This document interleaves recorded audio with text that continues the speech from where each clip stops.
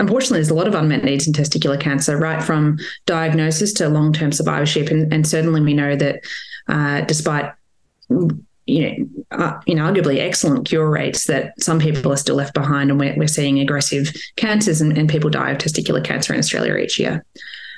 Um, you know, I, I, think there's certainly space to improve the uh, management of mental health issues around both diagnosis and follow up.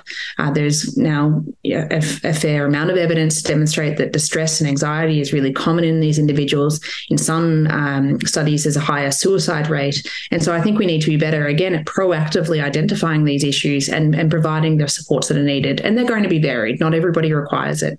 Uh, but talking about it a little bit like the prepare retrograde ejaculation study talking about these issues and offering the supports may just help to you know preemptively um, i guess mitigate some of these problems beyond that i think that microRNA and other biomarkers that are sort of entering the fold are likely to be something that's revolutionizing our care in coming years. They're going to help us diagnose patients earlier, and particularly with patients uh, who have um, you know, may have tumors that are inaccessible to biopsy, including intracranial uh, uh, germ cell tumors.